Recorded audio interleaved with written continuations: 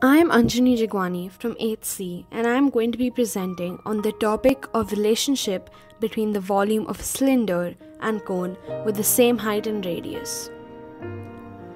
We will first measure the height of our cylinder, in this case it is 10 centimeters.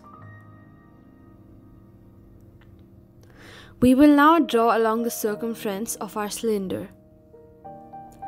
Find the radius of the circle, which is 2.3 centimeters, and the slant height of the cone, which in this case is 10.26 centimeters. Draw a circle with the radius as the slant height of the cone.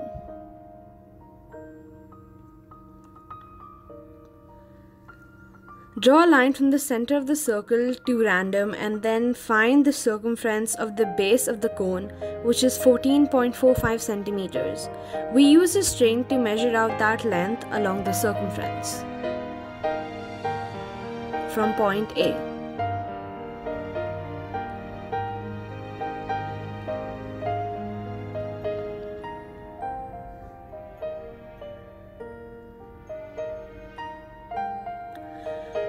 Draw an additional line from the center a little away from point B. Uh, this will assist in forming the cone. Cut out the shape and form the cone. Now that we have our, our cone, take some rice or sand to help fill the cylinder. Start filling the cone with rice and pouring it into the cylinder.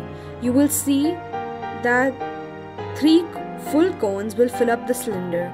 Thus, 3 cones equals 1 cylinder.